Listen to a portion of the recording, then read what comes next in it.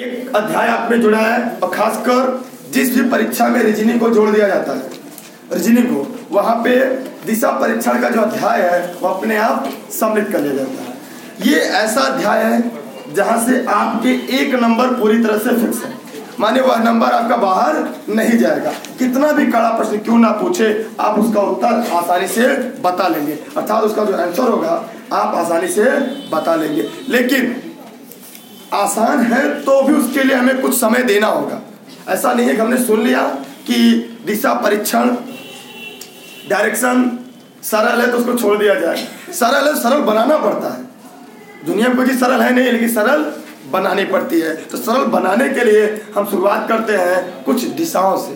तो ऐसे आप सबको पता होगा, दिशा परीक्षण की शुरुआत करते समय पहला होता है पूरब। क्या होता है? पूरब। इस अंग्रेज़ी में शायद ईस्ट कहते हैं ना? ईस्ट माने पूरब वेस्ट माने पश्चिम।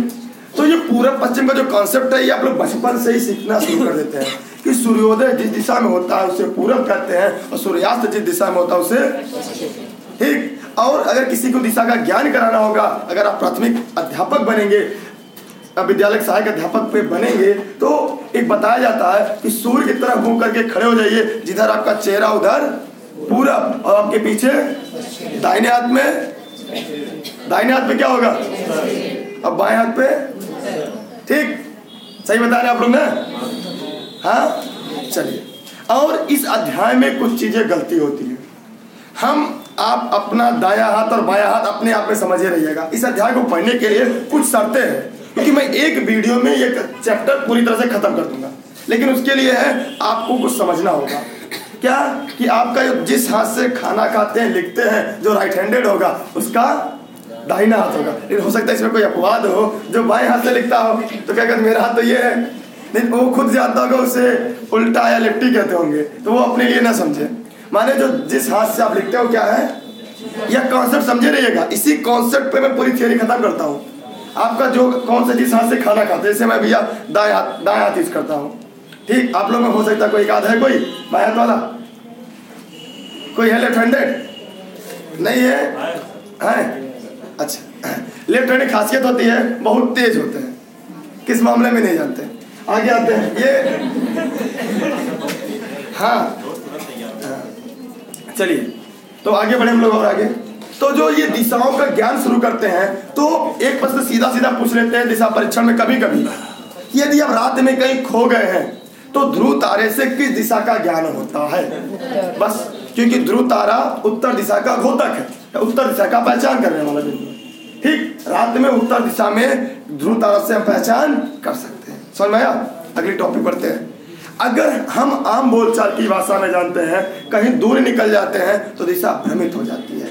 लेकिन मैप को पढ़ते समय जो वैसे तो आप दाएँ बाएँ कोई भी इस्तेमाल कर सकते हैं, लेकिन इसके लिए जो नियम है, वो है मैप देखने का, उसको पहले आप समझ लीजिए। ये दिशाओं को ज्ञान करने के लिए क्या किया हमने इसको चार भागों में डिवाइड कर दिया। ये जो प्रत्येक कोण है, इसका नब्बे अंश का है। कितने अंश का? और जो मेरे दाएँ हाथ पे होगा, वो पूर्व होगा। ईस्ट। जो बाएँ हाथ पे होगा, वेस्ट। पश्चिम होगा। और जो ऊपर होगा, उत्तर होगा। नीचे। सर से साउथ माने सर पे दक्षिण पैर पे दक्षिण और ऊपर नॉर्थ। सर पे नॉर्थ उत्तर दाएँ हाथ पे पूरब बाएँ हाथ पे यह बात आप जानते रहिएगा। ठीक? दो बातें समझ में आया। अगर आप मानचित्र देखते हैं या मैप का अध्ययन करते हैं तो जो दाया हाथ आपका होगा सदैव पूर्व में होगा। क्या होगा? और जो मेरा जिस तरह दाया हाथ होगा उसका ठीक आपका उल्टा होगा। अगर मेरा दाया इधर है तो आपका इस साइड होगा। इस बात समझिएगा। कोई व्यक्ति आप मेरी तरफ़ आ रहे तो आपका दाया हाथ किधर है? और बाया हाथ? और मेरा क्या होगा? माने कोई भी व्यक्ति अगर अपोजिट जाता है तो दाया हाथ बाएँ तरफ़, बाया हाथ, इसे समझते चलिएगा। और आगे। इसको कभी कभी अध्ययन के दृष्टिकोण से इसे भी चार भागों में डिवाइड कर देते हैं। कैसे? इसे क्या कहते हैं? पूर्वोत्तर या नॉर्थ ईस्ट? माने दोनों के बीच के इसे नॉर्थ ईस्ट कहते हैं। अब ये कोण कितने कर दिया? पैतालीस पैतालीस अंश का कोण भी बढ़ते चलिए कौन से प्रश्न आते हैं। कितने कितने अंश का पैतालीस पैतालीस। इसका नाम क्या होगा? पश्चिमोत्तर या नॉर्थ वेस्ट, या वेस्ट नॉर्थ। ये भी कोण कितने का? पैंतालीस। ठीक? और आगे बढ़े। यहाँ क्या होगा? साउथ। ये होगा दक्षिण पश्चिम ये होगा आपका हाँ? अब कोण कितने कितने का हुआ? यह कॉन्सेप्ट समझ में आ गया आप लोग? हाँ? समझ में आया? समझ में आ गया ना? बेहतर इतना समझ में आ गया ना? ये सब बेस इसी आधार पे मैं आपको एकदम आसान कर दूँगा। और आगे बढ़ते हैं। एक कदम और आगे चले। जब दूसरी कदम आगे बढ़ाते हैं तो अब हम लोग को सीखने के लिए मिलेगा यदि हम या आप सुबह के समय सूर्य दिशा की तरफ़ मुँह करके खड़े हैं तो आपकी परछाई किधर बनेगी? किधर बनेगी? कंफर्म और शाम को अगर खड़े हैं तब ये सभी क्वेश्चन आएँगे। अभी सब क्वेश्चन भी बनेंगे, इसलिए जानते रहिएगा। ये बझाने के लिए क्वेश्चन कि एक व्यक्ति प्रातः काल एक दिशा की तरफ़ चला, उसका छाया उसके दाहिने तरफ़ बढ़ा तो इस समय वो किस दिशा की तरफ़ चल रहा है? एक व्यक्ति सुबह सुबह जा रहा था उसका जो छाया बन रही थी वो किधर बन रही थी? उसके दाएँ हाथ की तरफ़ दाएँ तरफ़ बन रही है उसका मुख किस दिशा में। पूरब में हो। मुँह से प्रकाश। अब आप लोग बताइए अभी मैं इसको सॉल्व कराऊँगा। मैं बता रहा हूँ प्रश्न पूछे कैसे जाएँगे? अभी मैं बताऊँगा कैसे आकलन करेंगे। एक व्यक्ति नदी के किनारे खड़ा था। नदी के किनारे नदी के तरफ़ मुँह करके खड़ा था। अचानक एक गेंद नदी में तैरता हुआ उसके बाएँ से दाएँ तरफ़ गुजरा। बाएँ से दाएँ तरफ़ गुजरा उसका मुख किस दिशा की तरफ़ था। पूर्व की तरफ़। अब ये कैसे जानेंगे? लेकिन यह चीज़ें जानिएगा नदी के बारे में जब पूछेगा नदी पश्चिम से पूर्व अगर नहीं दिया गया तो। अब आप नदी किनारे खड़े हैं आपके सामने गेंद किधर कर रहा है? दक्षिण दाएँ दक्षिण से बाएँ से दाएँ बाएँ से दाएँ जा रही है तो बाएँ से दाएँ जा रही है। और दक्षिण नदी किधर किधर बढ़ती है। पश्चिम से इधर पूर्व, इधर पश्चिम, आपका मुख किधर हुआ? नदी पश्चिम से पूर्व बहती है। जब नहीं दिया होगा तो नदी पश्चिम से पूर्व बहती है। ठीक? अभी बताएँगे, लगा के सॉल्व करिए सब सवाल तरह लगते हैं। किधर बह रही है? पश्चिम से पूर्व तरफ़ बह रही है। आपके बाएँ हाथ से दाएँ तरफ़ गेंद गया। माने इसे देखिए, आप कल्पना करिए, आप खड़े हैं, नदी बह रही है। गेंद आपके सामने जा रहा है। किधर जा रहा है? गेंद पूरब। तो दाएँ हाथ पे पूरब बाएँ हाथ पे आपका मुँह किधर है? ठीक समझ आ रहा सिर्फ़ चलिए और आगे बढ़ते हैं। फिर इसी दिशा के क्वेश्चन में राम अपने घर से दस किलोमीटर उत्तर गया। किधर गया? दस किलोमीटर उत्तर गया उत्तर माने ऊपर की तरफ़ गया। पुनः वह पाँच किलोमीटर बाएँ हुआ। बाएँ माने बाएँ हाथ यूज़ करिए इसे देखिए पहले समझ लीजिए फिर क्वेश्चन लगाना बहुत ही आसान है। कोई व्यक्ति है, ये बिठा दे। ये सब समझ में आ गया ना। ये आ गया इसको इसकी कोई अच्छा इसका यार यूज़ अच्छा ये बता दे, फिर इसका यूज़ बता रहे जैसे व्यक्ति राम था, अपने नियत स्थान से दस मीटर उत्तर गया। दस मीटर। पाँच मीटर बाएँ गया। बाएँ गया, देखिए, बाएँ हाथ पे गया। ठीक उसके बाद पुनः वह अपने नियत बिंदु से दाएँ तरफ़ घुमा और दस किलोमीटर चला। दस किलोमीटर चला। उसके बाद पुनः वो अपने नियत स्थान से, उस बिंदु से तीन मीटर दाएँ चला। तो वह नियत स्थान से कितनी दूरी पर है? तो वह, अब दाहिने इसका देखिए किधर होगा? उल्टा हो जाएगा। आप दाहिना किधर ले जा रहे हैं? इधर। ऐसा नहीं है। अब इसको घूम जाइए इससे कह जाइए। दाएँ किधर जाएगा? तो दाया किधर गया? तो दस मीटर ये दस मीटर ये।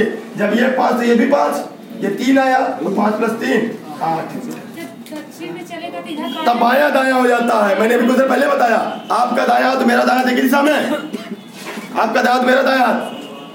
तो जब वो दक्षिण दिशा में जाता है तो दाया बाया बाया दाएँ बदल जाता है। समझ में आया? अरे, देखिए, मैंने पहली बार ज़िंदगी परीक्षा दी थी रेलवे ग्रुप डी 2013 में। और पहली परीक्षा जब मैं फाइट किया था तो ऐसे क्वेश्चन आया था, हमको नहीं आता था तो हम ऐसे ऐसे घूम जाते थे। तो एग्ज़ाम में कैसे कहीं घूम रहे हो। वो भी मैं क्वालिफाई था, ज़िंदगी पहली परीक्षा कंपटीशन तो ऐसे घूम जाता था। फिर बाद में जरा समझ में आया कि नहीं, घूमा नहीं जाता। अब ये मान मान लेते हम इधर हैं। हम क्या कर रहे थे घूम इसे भाई वो एज भी काफ़ी कम थी। आज के तेरह महीने, पाँच साल पहले, पहली ज़िंदगी परीक्षा कंपटीशन क्वालिफाई थे। तो उस समय ये हुआ था, ये दिशा क्वेश्चन आया था तो आदमी घूम जाता है, दिशा की तरफ़। तो घूमना नहीं है, नीचे जाने के बाद जैसे काफ़ी बना रहे हैं। ये मान लीजिए करंट की नोट से कोई हला भला कर दिया जाए। यहाँ से थे आप, इस बिंदु से दस मीटर ऊपर गए। ठीक, पाँच मीटर बाएँ हैं, फिर देखिए ऊपर गए, ऊपर जाने हाथ किधर है? और दाएँ हाथ अब यहाँ से अगर दाएँ बाएँ जाना तो कुछ मत करिए। किताब मुझे पलट दीजिए। अब दाएँ किधर हो गया? बाएँ आना है तो? इधर, यहाँ ऐसे थे बाएँ जाना था। अगर बाएँ समझ में नहीं आ रहा इसको ये ऐसे कर लीजिए ठीक, अब बाएँ किधर हो गया? बाएँ यहाँ गए। दस मीटर। अब गए दाहिने जाए, ऐसे कर लीजिए मुँह इधर है ना? दाएँ। कितना जा रहा है? तीन। पहले खुदे नाचते थे। तो बाद में समझ में आया कि तब कपिए में नचा के आप कर सकते हैं। दिखा आप लोग को समझ में आया? देखिए चले कैसे यहाँ से आपने चलना शुरू किया। ये आपके लिए बिंदु थी। दस मीटर उतर गए। वहाँ से बाएँ घूमे। बाएँ तो पता चल गया। सीधे तो पता चल गया बाएँ किधर है।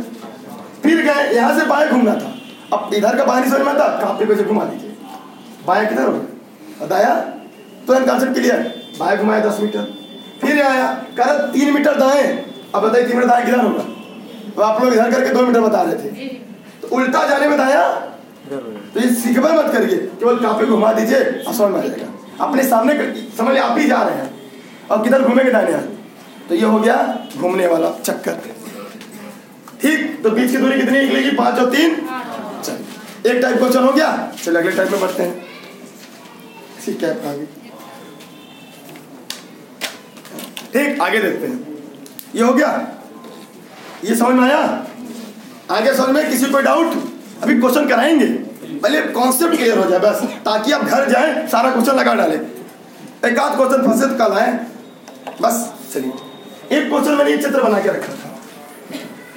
मैंने इसको इरेज नहीं किया स्याही बच जाएगी सही है। ठीक है? स्याही नहीं बचाना, इसका उद्देश्य होता है ये, आपका ध्यान जो होता है, इसमें रुका रहता है। इससे कहते हैं पढ़ाई घटनाक्रम से करेंगे तो जल्दी याद होगा। अगर ध्यान समझिएगा, खूब मेरी बात को ध्यान से एकदम सुनिएगा ना तो प्रश्न के लिखिएगा मत खाली सुनिएगा। यदि यदि उत्तर पूर्व को, यदि उत्तर पूर्व को दक्षिण कहा जाए दक्षिण मत कहा जाए यदि उत्तर पूर्व को पश्चिम कहा जाए, यदि उत्तर पूर्व को पश्चिम कहा जाए, क्या कहा जाए? पश्चिम कहा जाए। और उत्तर को दक्षिण पश्चिम कहा जाए तो इसी क्रम में यदि आगे बढ़ा जाए तो दक्षिण को क्या कहेंगे? तो दक्षिण को क्या कहेंगे? प्रश्न तो बड़ा बजाने का लग रहा है। कुछ मत सोचिए। ऐसे आइए। कह रहा है कि यदि उत्तर पूर्व उत्तर पूर्व को क्या कह दे? पश्चिम। माने यहाँ से चल के एक दो तीन अच्छा ज़्यादा बोल दिए। सॉरी क्वेश्चन गलत हो गया। हाँ, एक लिख दीजिए बोल रहे क्वेश्चन लिखिए। देखिए क्वेश्चन लिख लीजिए तब क्लियर हो जाएगा। ऐसे देख के बोलेंगे क्वेश्चन बना लेंगे। लिखिएगा यदि यदि यदि उत्तर पूर्व को, यदि उत्तर पूर्व को पश्चिम कहा जाए, सही बता दिया। उत्तर पूर्व को पश्चिम कहा जाए।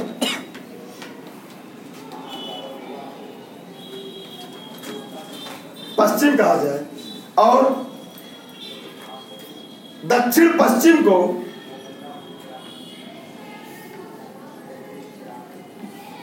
कहा जाए, यदि इसी क्रम में आगे बढ़ा, बढ़ता रहा जाए तो?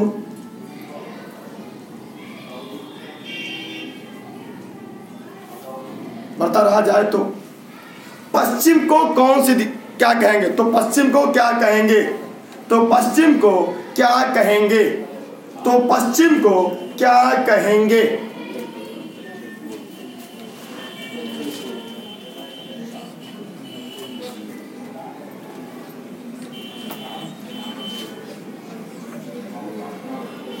समझ में आया? नहीं समझ कुछ ना करिए। ऐसे डायग्राम बना है, तुरंत डायग्राम बना दीजिए। दिशा तक को पता है क्या कर रहा है? यदि उत्तर पूर्व को, ध्यान दीजिएगा, यदि उत्तर पूर्व को पश्चिम कहा जाए तो देखिए, घड़ी के विपरीत दिशा में चल रहे इसे कहते हैं एंटी क्लॉकवाइज या वामावर्त। कितना है? एक, दो, तीन खाना है। एक खाना बराबर पैंतालीस डिग्री तो दो खाना बराबर, तीन खाना बराबर। एक सौ पैंतीस डिग्री। पैंतालीस दूना नब्बे तिया। या तो ऐसे गिनिए। एक, दो, तीन डब्बा पीछे आया। क्या डब्बा? उसके बाद क्या पूछा? क्या कहा? हाँ? दक्षिण पश्चिम को एक, दो, तीन डब्बा। माने तीन डब्बा घड़ी के विपरीत आगे खसक रहा है तो आप भी खसक जाइए। क्या पूछा? पश्चिम को। पश्चिम यहाँ है। एक, दो, तीन डब्बा। क्या है? समझ आया? एक, दो, तीन डब्बा। दक्षिण पूर्व। एकदम सिंपल, गिनती एक, ऐसे से नहीं, एक, दो, तीन, एक, दो, तीन, एक, दो, तीन, बस। डब्बा गिन लीजिए, बस। बस यही ध्यान रखना है कि घड़ी की दिशा में बढ़ रहा है, घड़ी की विपरीत दिशा। में समझ में आया? नहीं समझ में आया? फिर से बता रहे हैं। क्वेश्चन पढ़िए आप खड़ी होकर वहीं से। क्वेश्चन पढ़िए क्वेश्चन पढ़िए यदि उत्तर पूर्व यहाँ है, यदि उत्तर पूर्व को पश्चिम कहा जाए, कहा जा रहा है पश्चिम यहाँ है? एक, दो, तीन खाना नीचे आ रहे हैं। मैंने घड़ी विपरीत दिशा में ठीक, आगे बढ़िए। देखिए दक्षिण पश्चिम को एक, दो, तीन खाना पूर्व कहा जाए। माने कितना खाना जा रहे हैं? तीन खाना। वो भी घड़ी की विपरीत दिशा में। अथवा, अगर डिग्री में समझना है तो देखिए, पैंतालीस डिग्री पैंतालीस नब्बे डिग्री, नब्बे दूरा, एक सौ पैंतीस। ये किताबी ज्ञान। अब ऐसे खाना एक एक दो तीन खाना एक दो तीन खाना एक दो तीन खाना उत्तर। बस ध्यान रखिए घड़ी की दिशा में चल रहा है घड़ी की विपरीत दिशा। बस। दक्षिण पूर्व। ठीक? समझ आया? कॉन्सेप्ट क्लियर हो गया? अगला क्वेश्चन अगला क्वेश्चन घड़ी अगला क्वेश्चन आप लोगों को अमित सर ने घड़ी पढ़ाई थी? पढ़ाई थी?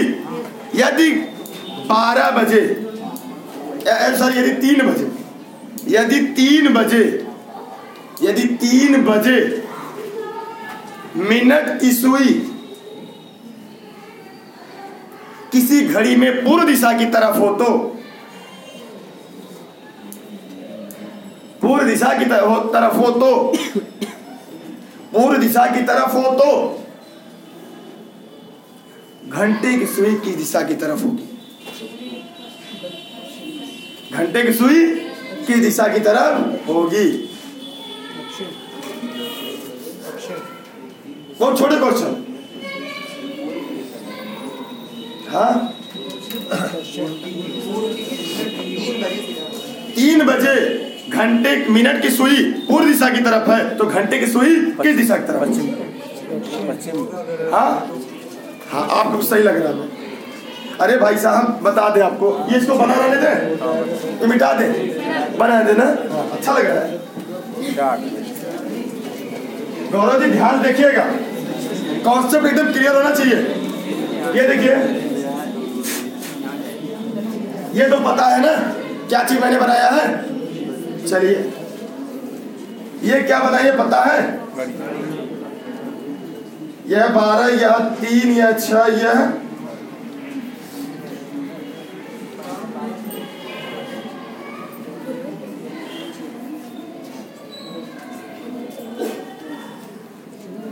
ठीक। यदि मिनट की सुई कहाँ हो? पूर्व माने यह पूर्व कहाँ गया? बात ध्यान दीजिएगा। अब घड़ी ऐसे ही नहीं। इसको क्या करना है पूर्व ये क्या होगा? ये पूर्व हुआ तो ये? पश्चिम। या ये तो इसको पूर्व कह दिया। घड़ी ऐसे देखिए। मिनट ज़रूरी थोड़ी ऐसे लेके बैठे हैं। हाथ ऐसे भी हो सकता है, हाथ ऐसे भी हो सकता है। अब घड़ी कैसे देख रहे हैं? उस समय मिनट की सुई कहाँ है? पूर्व दिशा में। माने जो ये ईस्ट है, यहाँ पे क्या है? अब इस घड़ी को ऐसे पलट दीजिए, ऐसे देखिए। घड़ी क्या करिए? पलट दीजिए। हम घड़ी को पलट दें तो यह सुई कहाँ होगी?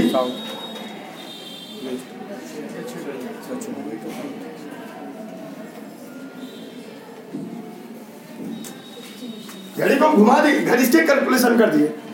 भाई, घड़ी ऐसे थी, ऐसे कर दिया। मैंने दिशा को दिशा से मिला दिया। पूरी इसी को कहते हैं ना पूर्व कर दिया। तो मिनट सुई। बस कॉन्सेप्ट क्लियर नहीं समझ आया? नहीं हुआ। अब मुझे तीन घड़ियाँ बनानी पड़ेगी कम से। मैं तीन घड़ियाँ बना रहा हूँ तो उसके बाद में चलिए देखते रहिए, बात ना करिएगा। बात मत करिए प्लीज़ बात ना करें। बात आप ना करें। ये दिशा तो पता है आपको, बगल मैंने क्या किया है? ये मैंने घड़ी बनाया है। घड़ी भी क्या है? ध्यान से देखिएगा। ये बारह छ तीन, नौ। समय कितना बज रहा है? तीन बज रहा है। अब क्या रहा है, इसको पूर्व कहें। यदि मिनट की सुई पूर्व दिशा में हो तो घंटे की सुई समय किस दिशा में है? अब देखिए, कुछ मत करिए। अब घड़ी को हम क्या करें? यहाँ पूर्व है। इस पूर्व तक लाने के लिए घड़ी दिशा में घुमा दीजिए। और नहीं घुमा सकते, घड़ी को इस तरह क्या करेंगे हम? पलट के हम सूत्र पढ़ाते नहीं। सूत्र पढ़ना नहीं है। अगर घड़ी को पलट देंगे तो यहाँ आ जाएगा बारह यहाँ आ जाएगा तीन। तो मिनट सुई कहाँ होगी? यहाँ घंटे सुई। घड़ी क्या की हमने? इसलिए पलटा ताकि पूर्व पूर्व दिशा की तरफ़ हो जाए। बात समझिए, मैंने पलटा क्यों? ताकि पूर्व दिशा पूर्व दिशा की तरफ़ हो जाए। अब तुरंत बता लेंगे। समझ आया? अच्छा। दूसरा तरीका।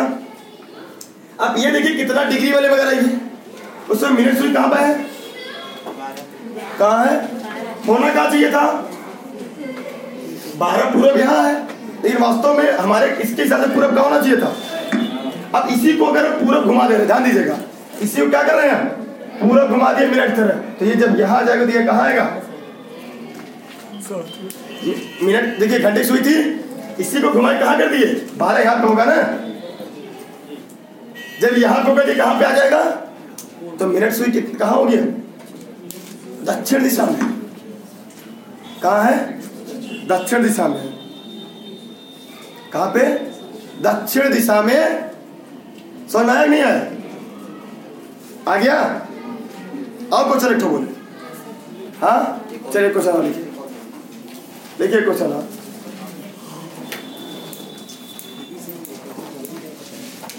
यदि नौ बजे, यदि नौ बजे यदि नौ बजे घंटे की सुई दक्षिण दिशा की तरफ़ हो तो दक्षिण दिशा की तरफ़ हो तो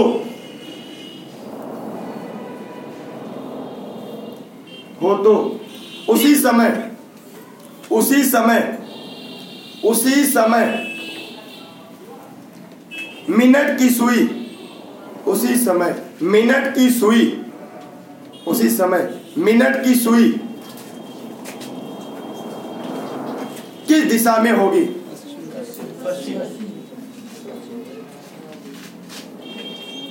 ठीक?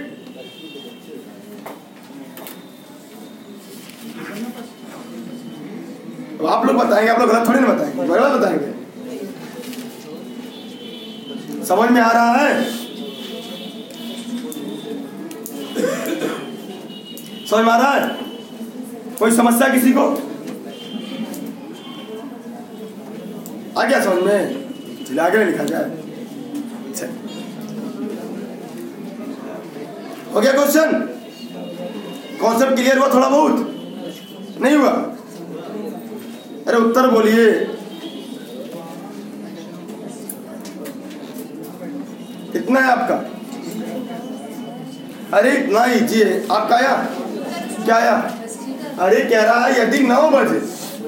इसी को तो पलट दिया। यदि नौ बजे, घंटे सुई कहाँ हो? दक्षिण में भैया। साउथ में। अब जब यहाँ की जगह यहाँ आ गया, ध्यान दीजिएगा। दक्षिण यहाँ जगह कहाँ गया? अगर दक्षिण को वापस अपने अड्डे पे लाएँगे तो मिनट सुई कहाँ जाएगा?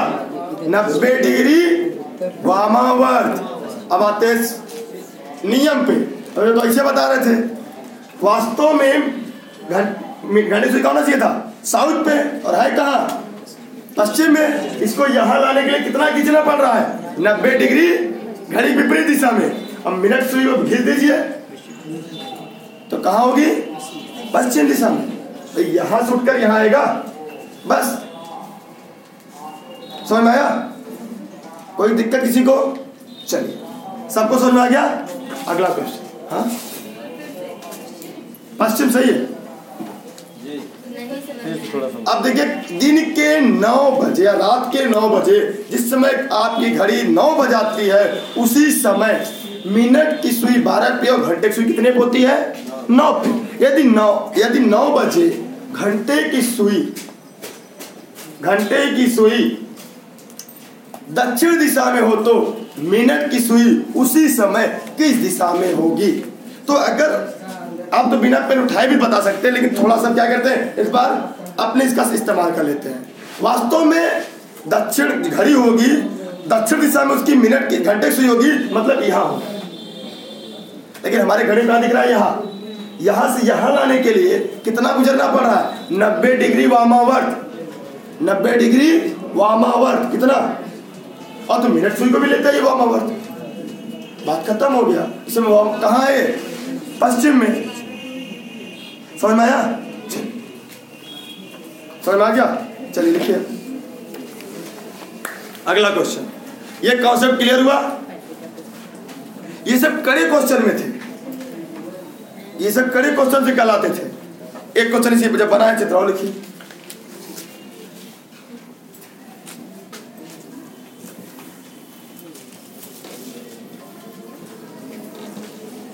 उत्तर कोई नहीं बताएगा, जिससे पूछे वही बताएँगे तब इजी क्वेश्चन पूछेंगे। ठीक? क्या नाम है आपका? बड़ा लंबा नाम है। आपका आपका नाम? नाम क्या आपका? चलिए लिखिए। राजेश एक स्थान पर खड़े होकर, एक स्थान पर खड़े होकर 270 डिग्री या 270 अंश। वामावर्त घूमते हैं। वामावर्त घूमते हैं। कहा? वामावर्त घूमते हैं। तथा पुनः उसके बाद, तथा पुनः उसके बाद नब्बे अंश दक्षिणावर्त आते दक्षिणावर्त यदि इस समय, यदि इस समय, यदि इस समय, यदि इस समय राजेश का मुख, यदि इस समय राजेश का मुख, यदि इस समय राजेश का मुख पश्चिमोत्तर दिशा में हो तो पश्चिमोत्तर दिशा में हो तो पश्चिमोत्तर दिशा में हो तो पश्चिमोत्तर दिशा में हो तो। राजेश किस दिशा से? राजेश किस दिशा से?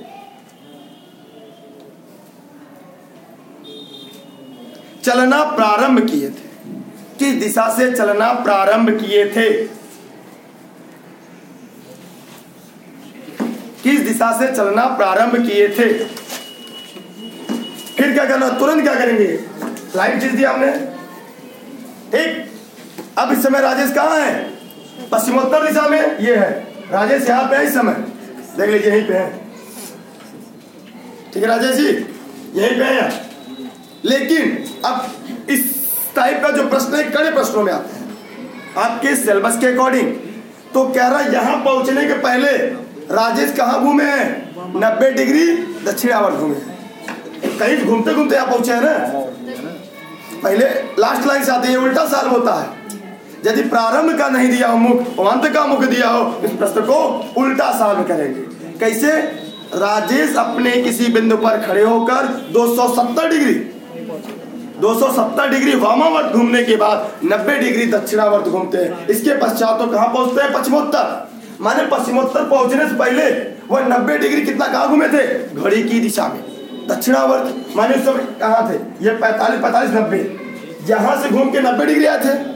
घड़ी की दिशा में, लेकिन इसके पहले कहा थे? घड़ी के ठीक, अब ध्यान दीजिएगा। मतलब यहाँ से चल के यहाँ तक आए थे। कितना नब्बे डिग्री, तब यहाँ पहुँचे थे। लेकिन यहाँ से, यहाँ के पहले कहाँ घूमे थे? वामावर्त चल कर आए थे। वामावर्त चल कर आए थे। तो वामावर्त जाना हो, किधर जाएँगे? मतलब कहीं से उल्टा होकर आए थे। कितना? पैतालीस पैतालीस नब्बे। नब्बे हो गया?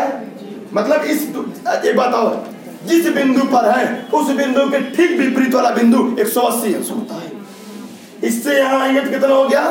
180 180 और 45 225 225 और दो सत्तर। अब देखिए यहाँ।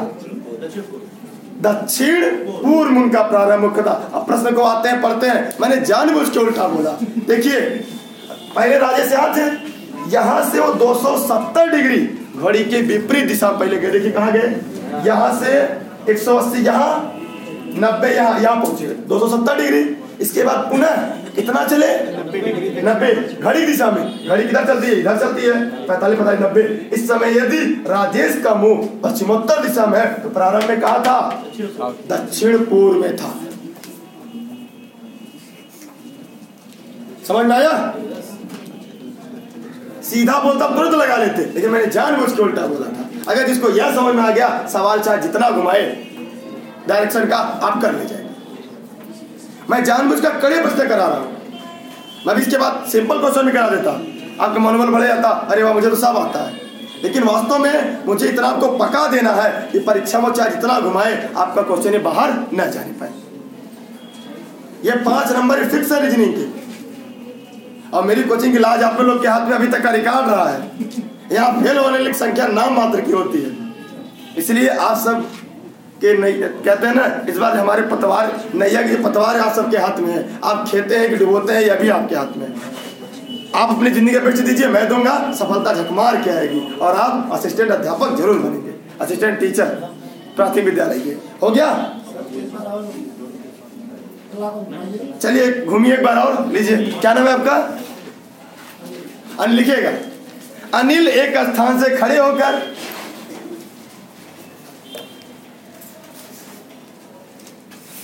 अनिल एक लिखिए अनिल, दक्षिण पश्चिम दिशा की मुँह, दक्षिण पश्चिम दिशा की तरफ़ मुँह करके खड़े थे। दक्षिण पश्चिम दिशा की तरफ़ मुँह करके खड़े थे। दक्षिण पश्चिम दिशा की तरफ़ मुँह करके खड़े थे। वह अपने स्थान से, वह अपने स्थान से 135 डिग्री 135 अंश। 135 डिग्री। दक्षिणावर्त। उसके पश्चात 90 अंश वामावर्त।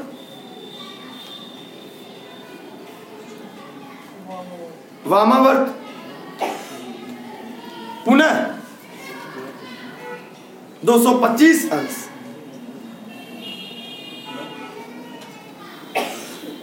दक्षिणावर्त इस समय अनिल का मुख किस दिशा की तरफ़ इस समय अनिल की दिशा, अनिल का मुख किस दिशा की तरफ़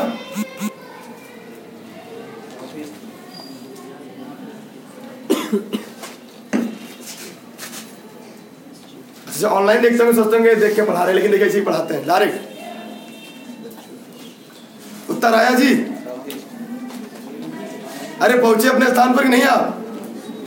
पता है क्वेश्चन कैसे लगाते थे? जो बहुत खुरापाती होते तुरंत लगाते हैं इस टाइप क्वेश्चन खुरापाती का मतलब तेज लड़के कराते हैं। प्रतिभाशाली। और आप लोग उसकी श्रेणी में आते हैं। हम तो मन बुद्धि की श्रेणी में आते हैं, लेकिन आप लोग प्रतिभाशाली, प्रखर बुद्धि की श्रेणी में आते हैं। देखिए, अनिल जी पहले कहा थे? दक्षिण? अब दक्षिण पच्चीस में कहा है? यहाँ अनिल जी यहाँ थे। तो कह रहे हैं सवाल समझ में नहीं आ रहा था। ठीक? इनको सवाल समझ में? बनवाल जी देखिए अनिल जी को सवाल समझ में नहीं आ रहा तो यहाँ पे थे। यहाँ पे थे। यहाँ से कहा चले दक्षिणावर्त घड़ी की दिशा में। मतलब पहले पैतालीस गुना नब्बे पैतालीस तो यहाँ पहुँच गए। अभी बैठे नहीं करें को दोबारा समझाइए। नब्बे से कहाँ गए? कहाँ गए? कहाँ जाएँगे? वामावर्त किधर होगा? वापस आएँगे कितना डिग्री? नब्बे डिग्री माने पैतालीस पैतालीस नब्बे यहाँ पहुँच गए। अब? अब फिर दो सौ पच्चीस डिग्री कहाँ जाना है? घड़ी की दिशा में घड़ी देखिए कैसे ग्यारह बारह ही बजता है ना? तो कितना जाना है? 225 यहाँ से यहाँ से यहाँ आएँगे, कितना होगा? 180 100 180 के बाद 45 आ गए। कहाँ पहुँचे?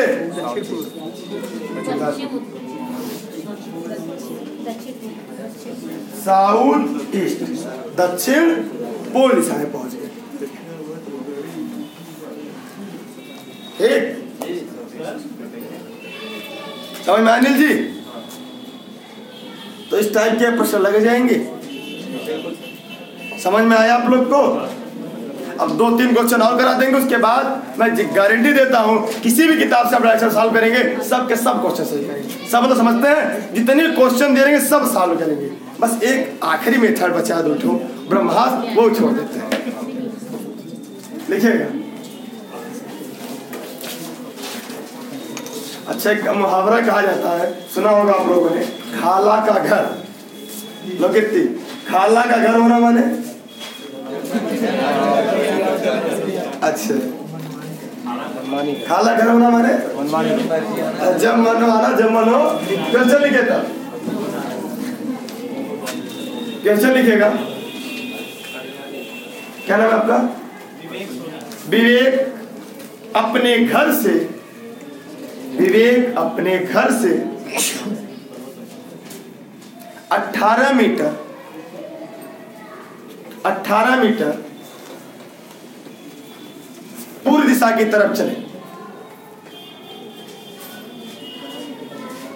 पूर्व दिशा की तरफ़ चले। उसके पश्चात या उसके बाद वह दाहिने मुड़े दाहिने मुड़े और आठ मीटर चले। आठ मीटर चले। तत्पश्चात वह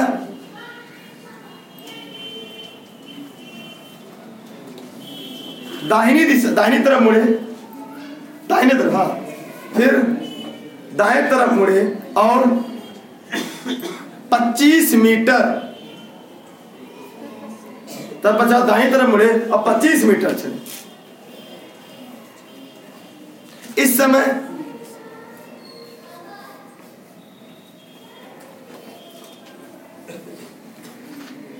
विवेक जी का मुख किस दिशा की तरफ़?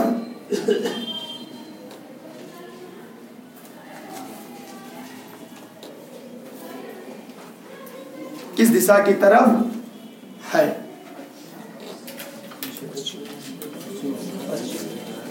बना लीजिए, इस प्रश्न में एक विवाद पनपता है। इस प्रश्न में एक विवाद पनपता है। वह विवाद को आज मैं सॉल्व कर देता हूँ। अब इसके आप दो उत्तर बताएँगे कैसे? देख लिए, समय न गवाए, इस समय बहुमूल्य इधर आइए विवेक जी अपने घर से निकले। किस बार हमें टेट पास हो लिखित सुपर टेट पास होकर ही घर वापस जाना है। इसलिए जौनपुर माँ के कमरा ले लिए कि जब तक सीट सुपर टेट नहीं पास होंगे, तब तक घर नहीं जाएँगे। घर से कितना चले वो? यहाँ उनका घर था। घर से अठारह मीटर। पूर्व दिशा में चलने के बाद वह दाई तरफ़ मुड़े और कितना जाते हैं? आठ मीटर। आठ मीटर। तत्पश्चात फिर वह दाहिने मुड़े और कितना जाते हैं? पच्चीस किलोमीटर। मैंने अठारह तो यहाँ तक आएँगे। सात यहाँ। माने कितना चलिए पच्चीस मीटर चले ठीक, इस समय सोनी जी का मुख कहाँ है? पश्चिम दिशा की तरफ़ ठीक, ये सफल व्यक्ति की निशानी। मतलब लोग कहा अच्छाइयों में वहाँ अभी बताएँगे, पश्चिम दिशा जो तरफ़ मुँह करते हैं, या उनकी जो सोच होती है, वो कौन होते प्रभाव प्रतिभाशाली होते हैं। हमारी तरह मंद बुद्धि नहीं। देखिए, यहाँ पे अब पूछा है कि? सोनी जी। मुँह किस दिशा में है? अगर यहाँ से दो प्रश्न बनते हैं जो विवाद करते हैं। पहला, वह गंतव्य स्थान या गंतव्य स्थान प्रारंभिक बिंदु से किस दिशा में है? गंतव्य जहाँ पर पहुँचे हैं, वह स्थान प्रारंभिक स्थान से किस दिशा में है? तो कुछ मत करिए ऐसे चक्कू लगा दीजिए। किस दिशा में है? किधर है? समझ आया इसी प्रश्न में यह कह दे कि दीपक सोनी 25 मीटर दाहिने घूमे 25 मीटर जाने के बाद वह अपने गंतव्य स्थान पर इस समय उनका घर या उनकी प्रारंभिक बिंदु किस दिशा में है? तो क्या करेंगे? यहाँ से प्रारंभिक बिंदु तो है ना? अब यहाँ से उनका घर कहाँ है या उनका प्रारंभिक बिंदु कहाँ है? इसको चार पर काट देंगे। उत्तर तो दो प्रश्न यहाँ से बनते हैं। पहला मुख्य दिशा में। दूसरा प्रारंभिक बिंदु किस स्थान पर है? और गंतव्य जो है प्रारंभिक बिंदु से किस स्थान किस दिशा में है? समझ में आया अच्छा। हाँ गंतव्य समझ में आया अभी चला दे रहे अगला चला दे रहे एक प्रश्न और चला दे रहे भैया। चलिए लिखिएगा। हाँ? भाई, आपकी आज्ञा, सरा को। चलिए, एक क्वेश्चन लिखेगा एक नहीं तो दो लिखाएँगे। अरे कीजिए बोले, पहले हिमांशु पहले कीजिए बोलते ठीक है?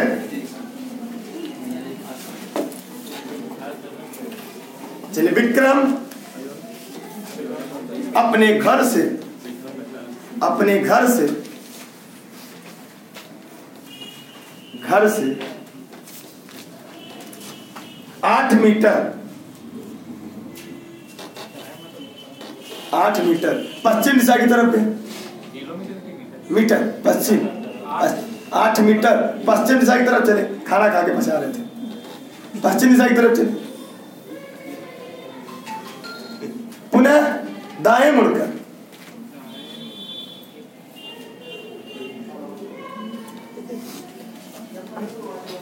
दाएँ मुड़कर। दाएँ मुड़कर छह मीटर चले।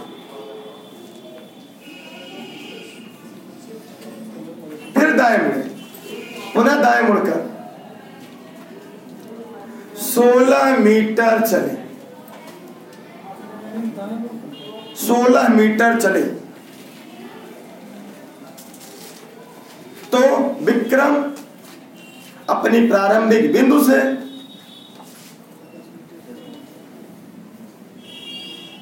कितनी दूरी पर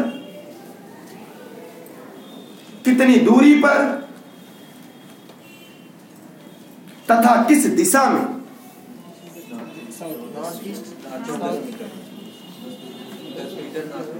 ठीक है, हम जानते हैं। एक शेर होते हैं और एक बापू तो हो गया? समझ में आया आप लोग को? नहीं यार शुरू ही कहा क्यों? पता लगाते रहिए। जो ऑनलाइन क्लास ज्वाइन करना चाहते हो ऑनलाइन ज्वाइन कर ले यहाँ six three zero six three double four three six seven notes भी उपलब्ध है। जल्दी आप लोग को मिलना शुरू हो जाएगा। आप लोग कितना आया आप लोग ऑनलाइन आप तो लाइव आप तो लाइव जो ऑनलाइन जुड़ना चाहते हैं, उनके लिए व्यवस्था। ये डेली सारी वीडियोज़ आपको नहीं मिल पाएँगे ना यूट्यूब पे। और एक दो दिन में जल्दी स्मार्ट बोर्ड आ जाएगा। सारी समस्याएँ समाप्त हो जाएँगी। ठीक है? ताकि हम और जल्दी आपको आपके गंतव्य तक असिस्टेंट टीचर तक जल्दी पहुँचा सकें। वो रास्ते का एक गाइडर हो गया? अरे शुरू करते हैं अभी चलिए। विक्रम जी रात को खाना खा लिए ज़्यादा खा लिए। उनको पचाना था तो क्या किए? वह एक बिंदु से या एक स्थान से आठ मीटर पश्चिम दिशा की तरफ़ तो किधर चले इधर? हाँ। इधर इधर अच्छा पश्चिम। बताना चाहिए आप लोग को, हम क्या खा के चल दी जगह पाए यहाँ थे आठ मीटर। उसके बाद क्या करते हैं?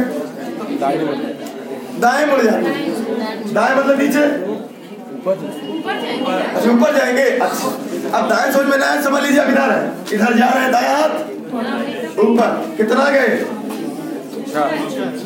छह मीटर कह रहे हैं, फिर दाएँ मुड़े। हाँ। अच्छा इधर जाओ। अच्छा हमको नहीं पता ना। इधर जाए कितना? पहुँच गए। जब ये यहाँ से यहाँ तक छह तो यहाँ से यहाँ तक भी, यहाँ से यहाँ तक आठ यहाँ से यहाँ तक भी, जब पूरा सोलह है, इतना आठ है तो ये कितना? बात समझिएगा। यह आठ तो ये भी आठ।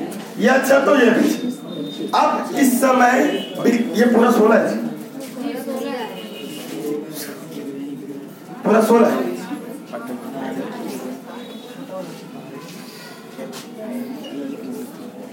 ठीक। अब कह रहा है, प्रश्न क्या पूछ रहा है? दो प्रश्न पूछता है। कितनी दूरी पर है? एक, दूसरा। प्रारंभिक स्थान की दिशा में है? जब प्रारंभिक पड़े पहुंचेगा, नहीं काट दी चाकू से। किस दिशा में है। उत्तर, माने पूर्वोत्तर दिशा में पहुँच गया। ठीक? चलिए, और आगे। कितनी दूरी पर है? यहाँ से यहाँ तक छह, यहाँ से यहाँ तक आठ। क्या बना? समकोण त्रिभुज। लगेगा पाइथागोरस प्रमेय। कर्ण का स्क्वायर बराबर लंब स्क्वायर प्लस आधार स्क्वायर कर्ण बराबर कर्णी में लंब स्क्वायर प्लस सब पूरा बात करने का दीजिए एक तो नियम बता रहे इधर देखिए। यदि चार, तीन आए तो पाँच आएगा छ आठ आएगा तो इसी का दोगुना कर दिया। फिर बारह, पाँच आएगा तो तेरह आएगा। कर्ण, ठीक, और पंद्रह और आठ तो सत्रह आएगा। ये चौबीस कर देता इसको दस कर देता तो छब्बीस आ जाएगा। याद कर डाली ट्रिक अब ये जब आठ चार आठ और छह आए तो दस उत्तर अरे छत्तीस होगा इसका वर्ग इसका वर्ग चौसठ दोनों हो गया सौ। बाहर करेंगे दस गुले दस दस कण बराबर दस। तब दस जब तीन चार आएगा तो पाँच होगा। ठीक? जब बारह बारह नौ आएगा तो पंद्रह होगा। जब बारह पाँच आएगा तेरह। और जब बारह दिन चौबीस पाँच दिन दस तेरह दिन छब्बीस। हम लगाते बाते नहीं, कौन इतना मेहनत करेगा? बताइए, इतना परीक्षा का प्रेशर रहता है सब कुछ। तो आप सब प्रयास से करिए, सब याद याद कर डालिए अभी पढ़ाएँगे, सब त्रिभुज पढ़ाएँगे, वहाँ वहाँ निकालना जान जाएँगे। यहाँ और हम पढ़ा भी चुके हैं। मैंने पृथ्वी पूरे ऐसे पढ़ाया था। आप देख लीजिएगा एक बात पुनः। याद करने इस उम्र में याद होता है। इस उम्र में तो चालीस हज़ार दिख रहा है। कब ज्वाइनिंग हो एक तारीख को चालीस हज़ार आए। तो याद करने वाला जमाना दिख गया वो बच्चे याद करते हैं।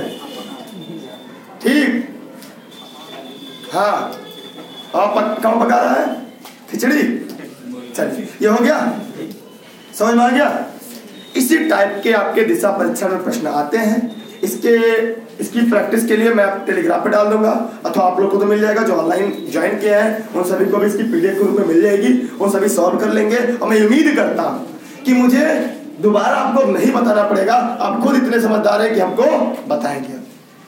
हम ये आशा कर रहे हैं क्या सही कर रहे हैं? क्या सब समझ में आ गया? तो इसी प्रकार का अध्याय का दौर चलता रहेगा तो पाँच नंबर का जो आपका आ, क्या है? रजनी पाँच दिन में मैं खत्म कर दूँगा। कई दिन में? पाँच दिन में पाँच क्लासेज में लेकिन आप सबका साथ चाहिए, आपको भी। जितना मेहनत मैं कर रहा हूँ आपके साथ, उतनी मेहनत आप अगर अपने साथ करेंगे तो ये पाँच के पाँच मिल गए। अब आपको कितने चाहिए? 145 145 से 20 नंबर गणित का है तो 15 से 18 बीच हम आपको रखेंगे मेरी ज़िम्मेदारी है। लेकिन कब? जब आप घर पे मेहनत करेंगे, तब। तो पंद्रह पाँच बीस अब पढ़नी एक सौ तीस।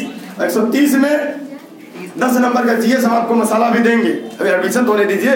उसके बाद फिर कितना आता है? तीस नंबर का सम की और क्या? विविध। कितना हुआ? आज तक का? सत्तर। सत्तर के दौर का ज़िम्मेदारी मेरे ऊपर है और सत्तर में गिरे हालत में अगर आप पचास लाते हैं, अभी आपके अस्सी है। अस्सी में अगर आप साठ भी ला दिए, अस्सी बचा है ना? अस्सी में पचास ला दिए, सौ माने आपकी सीट रिज़र्व हो गई। ऐसे ना मानिए। कहा तो हारियन हिम्मत बिसारी राम, कैसे है? भाई, हमको हवा नहीं आता कह दीजिए आप लोग। हाँ क्योंकि आप अपने लिए, अभी 40 नंबर का जो लैंग्वेज है 40 नंबर का जो लैंग्वेज है, उसमें आप कितना करके आएँगे? कम से कम 30 करेंगे। सब मेरी तरह नहीं होता जिनको संस्कृत है और अंग्रेज़ी में है। ठीक है? कुछ लोग आपकी तरह भी होते हैं। संस्कृत, अंग्रेज़ी और लैंग्वेज में आप कम से कम तीस, बत्तीस करके आएँगे। इस बात को न भूलिए कंप्यूटर चाह पाँच नंबर कंप्यूटर मैं गारंटी देता हूँ कंप्यूटर कोई क्वेश्चन मैं गलत नहीं होने दूँगा। ये मेरी ज़िम्मेदारी है। और मैं दिखाऊँगा आपको कंप्यूटर क्वेश्चन गलत नहीं होगा। यूएनओ से क्वेश्चन मैं गलत नहीं होने दूँगा। और करंट अफेयर इतना है मैं उसे भी सीमित कर रहा हूँ दायरा जिस दिन सीमित सीमित हो गया करंट अफेयर का दायरा मेरे द्वारा उस दिन मैं ज़िम्मेदारी लेता हूँ आपका सिलेक्शन पक्का है। अभी चौकी मत नोट्स के लिए। बस एक दो दिन इंतज़ार करिए। अरे मैं भी तो इंसान हूँ। सुबह छह से रात सात तो यही हूँ। घर गया, पहुँचा, फ़ोन चालू। फ़ोन चल फिर हम भी बैठते हैं और आजकल नींद आ जाती है, पढ़ते ही पढ़ते पता चलता कब सो गए। घर पहुंचेगा तो बीस बोले कौन सा अटेंड करिए, जितना कॉल नहीं आ रहा था। तो इसलिए आप सब भी अपने ज़िंदगी का बेस्ट दीजिए, सफलता झकमार के सामने आएगी और आप साथ और हम भी हैं। जिसमें आपको समस्या हो, हमारे पास छह छह टीचर हैं, ठीक? उसके बाद अगर किसी भी टीचर के समय आपको कोई समस्या होती, कोई टॉपिक समझ में नहीं आता, हम अभी हैं कि हम ऑलराउंडर हैं। आप जानते रहिएगा, बेशक जो पढ़ाते वही पढ़िएगा, क्योंकि ज़्यादा हम पढ़ाएँगे, कहेंगे क्या मास्टर कुल पढ़ाता है? इसलिए हम इस समय केवल एक सब्जेक्ट पढ़ा रहे हैं, लेकिन ये हम मत बोलिएगा। ठीक, जहाँ कोई दिक्कत आएगी, जिस टॉपिक पे भी हम हैं, आपके सिलेक्शन जब तक नहीं हो जाए, तब तक हम आपके साथ हैं। बस आप दोगुनी मेहनत से मेहनत करिए, सफलता आपके हाथ ज़रूर आएगी। एकदम मत हारिए। और अपने ज़िंदगी का सबसे बेस्ट दीजिए। या मानिए यह अंतिम तैतीस दिन आपके ज़िंदगी का सबसे निर्णायक दिन है। और इस बार अगर आप चुक गए तो मैं नहीं कह सकता आगे क्या होगा। वो आगे आप खुद जानते हैं, बंबई में जाते हैं, आठ हज़ार रुपए की नौकरी करते हैं, सुबह बारह शाम बारह यही आपके मॉल में बहत्तर सौ रुपया मिलता है सात हज़ार, दो सौ रुपया पूरा दिन खड़े रहते हैं। और आपका तनख्वाह कितना पता है? मात्र पाँच दिन का तनख्वाह है वो। अध्यापक होने बाद जितना पाँच दिन में पाएँगे इतवार की पाँच छुट्टी होती है। एक साल के, एक महीने में पाँच छुट्टी, जितना पाँच छुट्टी घर बैठ के कमाएँगे, अध्यापक बनने के बाद, उतना वो एक महीने खटता है। आठ, बारह घंटे तब जाके उसको मिलता है। और उसको कुर्सी नहीं दी जाती बैठने के लिए। मॉल में याद रखिएगा, जो एम्प्लाई होते हैं और उनके बैठने के लिए कुर्सी नहीं होती। कहा जाता है, वो आलसी हो जाएँगे। तो कहीं ना कहीं अब उसी व्यवस्था के अंदर जा रहे हैं, जहाँ समाज का निर्माण कर सकते हैं। इसलिए अभी भी आपके पास समय है, आप अपनी ज़िंदगी का बेस्ट दीजिए या सोच लीजिए, परीक्षा कल है। परीक्षा कल है, तब आप पढ़ेंगे। और मुझे पूरा विश्वास है कि आप अगर मेरे साथ जुड़े हैं तो आप सफलता तक ज़रूर पहुँचेंगे। छोड़ दीजिए, खाना, पीना, नींद चैन बहुत लोग खाने में भागते हैं, भूख लग जाती है। ये सोचना मत करिए, भूख लगी है। जैसे याद रखिएगा, कुछ चीज़ें ऐसी है, ठंड और बेजती जितनी ज़्यादा महसूस की जाए उतनी ज़्यादा अभी आप जा रहे हैं, ठीक? आप कहते भूख धूप लग रही है। हाँ धूप तो लग रही है। उसके बाद उसको नहीं पता था। अभी जैसे छुट्टे यहाँ छुट्टी, दो मिनट हुआ एक लोग उठे, सब उठना शुरू क्यों? क्योंकि आप महसूस कर रहे हैं। इसलिए छोड़ दीजिए साइकोलॉजी ढंग से। यह सोचिए कि छह तारीख परसों है। यही छह दिसंबर को है। उस तरह से पढ़िए। जिस तरह लोग आप डीबी कार्ड हाथ में आने के बाद पढ़ते हैं। क्योंकि अभी भी आपके पास समय है। और मैं बार बार क्योंकि मैं खुद समय अपना बचा रहा हूँ। क्योंकि अगर हम नहीं हुए, आप सब गाली देंगे। खुदा ही नहीं हो पाए, दूसरे का हुआ। इसलिए आप लोग अपनी ज़िंदगी का बेस्ट दीजिए, हम आपके साथ हैं, सफलता ज़रूर बताएगी लेकिन पढ़ने का टाइम टेबल सेट कर लीजिए, समय बढ़ाइए, और क्या पढ़ना है, कैसे पढ़ना है, हम लास्ट बताते हैं। ठीक? अब आप लोग पढ़ लीजिए। अमित सर से गणित कब से बैठे हैं, आप सब बैठे हैं, उस इंतज़ार में। ठीक? कोई समस्या, कोई क्लास क्वेश्चन कोई समस्या नहीं? कोई क्लास क्वेश्चन नहीं?